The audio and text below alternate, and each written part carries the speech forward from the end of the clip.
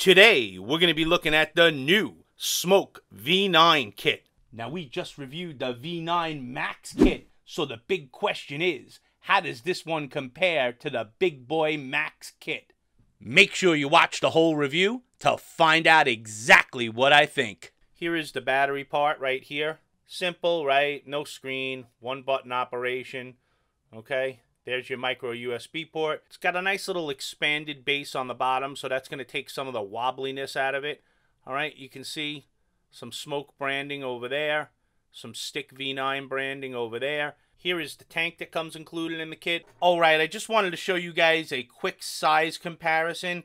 This is the V9 Max. This is the regular V9 that we're reviewing. Now, the V9 Max is 28 millimeters in diameter. Same height, same everything. 8.5 ml capacity. The tank is 28 millimeters in diameter. When you go to the, the regular V9, Okay, like I said, same height, but 24.5 millimeters in diameter. Same fire button. Tank is 24.5 millimeters in diameter. And it does come with a bubble glass that holds 5 mLs versus 8.5 mLs. But you can see, very, very similar. This is a little thicker. That's the only difference. Otherwise, they're basically the same mod. Oh, yeah. This one has a 4000 mAh internal battery. The regular V9 has a 3000 mAh internal battery. And that's it. I mean, otherwise, very, very similar. They both feel great in the hand. Just nice, nice stick mods. Nice, like, home plate style shape firing button. There's an LED inside the battery. Five clicks turns it on, and that's basically the whole menu system. Let's check out the top of the mod. We got a spring-loaded, gold-plated 510 that I would say has a short throw with a stiff spring to it. Stainless steel threading around there. On the bottom, we do have a vent hole. I kind of like the way they made the bottom look like it comes off. It does not. This is an internal battery mod with a 3000 mAh internal battery. But I kind of like the way they made it look. They did a nice job on it. Here is the spare coil that you get in the kit. This is the S2 coil. Okay, it's basically a 0.15 ohm quadruple coil. Has a rating of 30 to 70 watts with a best of rating from 45 to 60 watts. Just a regular round wire coil. We've gone over this tank a million times, but let's go over it briefly. You got triple airflow on the bottom here with stoppers on both ends. Whatever you adjust on one side happens on the other two. Very airy tank. On the bottom, you can see we got a gold-plated 510 insulator ring around it, stainless steel threading around that, designed by Smok. On the top, we do have a proprietary drip tip. It's a little snug out of the box, but once it gets some juice on it, it's fine. Not crazy about the proprietary drip tip. You guys know in general I hate them but this one is comfortable. In order to open up the top cap, you just hit this little locking feature right there. See that? See that right there? You just press it in and slide it open. And there's your nice big fill port. It will accommodate most juice bottles. Just be careful with bullnose bottles, but you can use them.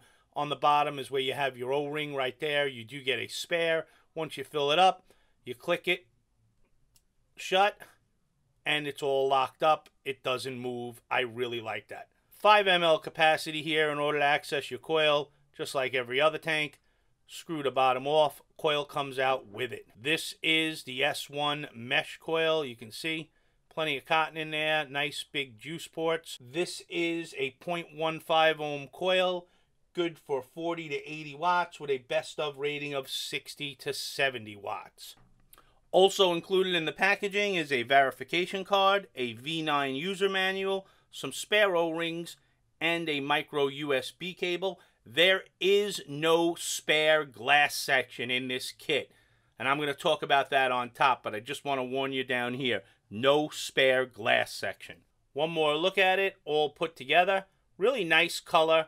All right, it's almost like a slate blue, almost like a, it almost crosses over into purple a really dark blue. Just a really nice job. I like the way they matched the tank to the stick mod It just works well together. So let's get into it, insiders. Let's get into the cons and the pros. First con's gonna be, man, and I say it all the time whenever Smok comes out with a new stick. I wish they would have made this in single 18650 form, especially since they made the bottom look like it's detachable. I think if Smok started making external battery sticks, they'd sell like hotcakes. Just put a wattage screen on there and roll them out, baby. You guys know I always bring it up on internal battery mods. It's a throwaway piece. Sooner or later, you're going to cycle through that battery. It's going to be useless, and you're going to have to chuck it. The good news is, you'll still have a great tank. No spare glass! Smok! Are you guys kidding me, man? I'm getting triggered now, I gotta tell you.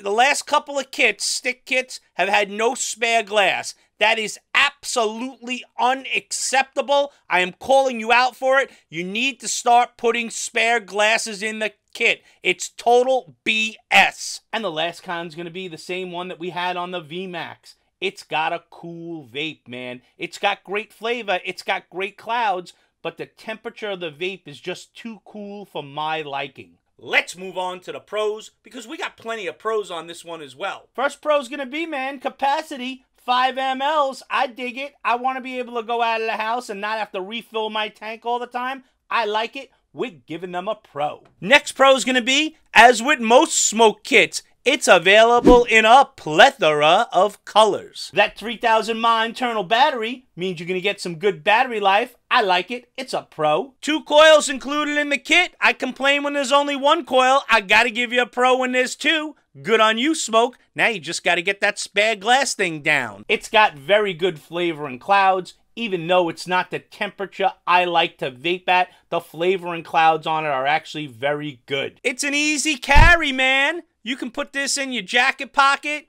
you know, go on the subway, the bus, whatever you got to do. It's a real easy carry, and I like mods like that.